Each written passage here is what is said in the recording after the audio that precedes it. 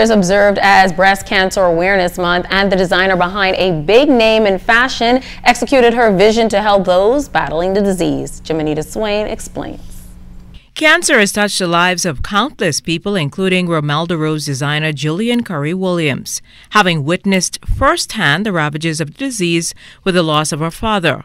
Williams vowed she would use her talents to give back to those still fighting the disease. She held a fashion show in partnership with ALIV and used cancer survivors as her models. Cancer is not a death sentence, and that there's still life after, there's life during, um, and for them to see and feel appreciated for for what they've gone through. I just made the garments according to their personality, and for the men, I didn't make their suits. Um, Kadar in style made their suits, and I just looked at them as far as the fabric was concerned and the color for their personalities. So.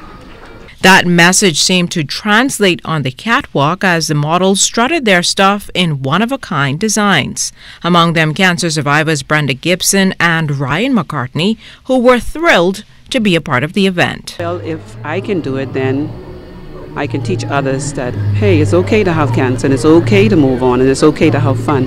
So I decided, hey, I may be able to help somebody on this way. In life, for those, look forward to us as survivors. That means you can survive also.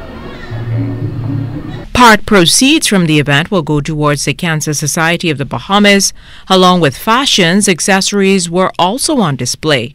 ALIV was a signature sponsor for the event. ALIV has been a sponsor within the community. We've sponsored so many different kinds of events, and you know, cancer is something that affects so many people here in the Bahamas. So we definitely wanted to do our part to give back um, in some way. For Williams, she hopes the honorees will continue to let their lights shine.